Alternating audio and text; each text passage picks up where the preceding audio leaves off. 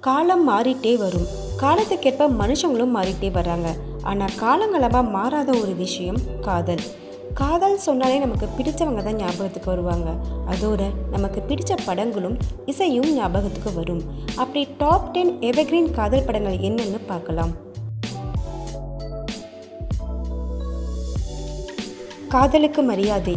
காதலனும் காதலையும் காதலித்து குடும்பத்திற்காக காதலை விட்டு கொடுப்பார்கள். இறுதியில் குடும்பமே அவர்களை சேர்த்து வைக்கும். இதுதான் காதலுக்கு மரியாதை. படத்தின் பலமே இசை. Seven G rainbow colony. எந்த தகுதியுமே இல்லாத ஒருவன் ஒரு பெண்ணை காதலிப்பான். அந்த காதலுக்காக அந்த பெண் அவனை திருத்துவாள். அவள் கூட வாழ வேண்டும் என்று நினைக்கும் சமயத்தில் அவளை மரணம் தழுவிக்கொள்ளும். காதலை வித்தியாசமாக இப்படத்தில் சொல்லப்பட்டது.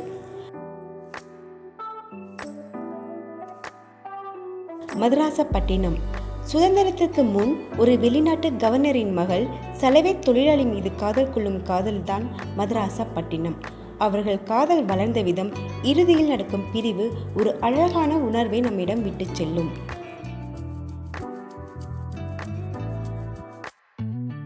காதல்.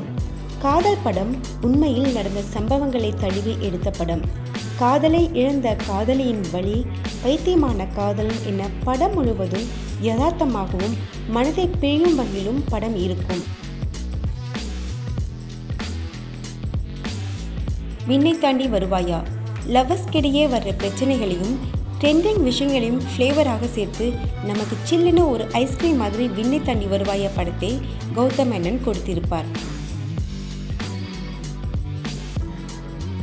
மைனா இப்படியும் ஒரு காதல் செய்ய முடியுமா என்பது போல் சிறு வயதிலிருந்து காதலித்து அவர்கள் இருவரும் ஊரை விட்டு ஓடி போலீசிடம் அகப்பட்டு இறுதியில் இருவரும் இறக்கும் சமயத்தில் காதலை மிக அழகாக சொன்ன படம் இது.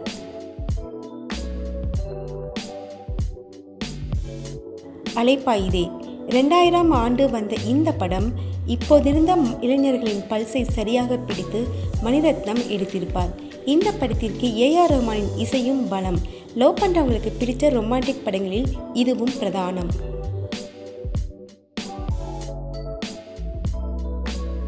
தொண்ணூத்தாறு. அந்த காலம் முதல் இந்த காலம் வரை எல்லோரையும் ரசித்து மனதளவில் உருக வைத்த படம் தொண்ணூத்தாறு.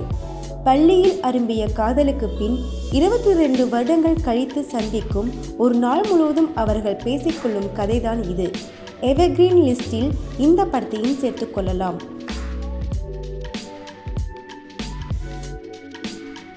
மௌனராகம். கார்த்திக் ரேவதி வரும் இடங்களில் கியூட் எக்ஸ்பிரஷன்ஸ் குறும்பு காதல் நமக்கு ஒரு வித லவ் ஃபீலிங்ஸ் தரும். இப்படி க்யூட்டான ஒரு பையன் நமக்கும் கிடைக்கணும் என்று ஆல் டைம் பொண்ணுங்க நினைக்கிற ட்ரீம் பாய் கதாபாத்திரம் கார்த்திக்கு. அதனால் இந்த படமும் எவர்கிரீன் காதலுக்கான படம்.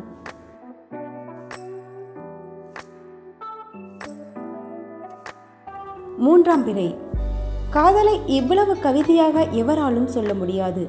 இசையும் கமல் மற்றும் ஸ்ரீதேவியின் நடிப்பும் காதலுக்கான புனிதத்துவத்தை இயல்பை நமக்கு சொல்லித்தரும். இறுதியில் மனதில் தொற்றிக் கொள்ளும் பாரத்தை விளக்க முடியாது. காதல் மேன்மை பற்றி எடுத்துச் சொல்லும் படம் மூன்றாம் பிறை.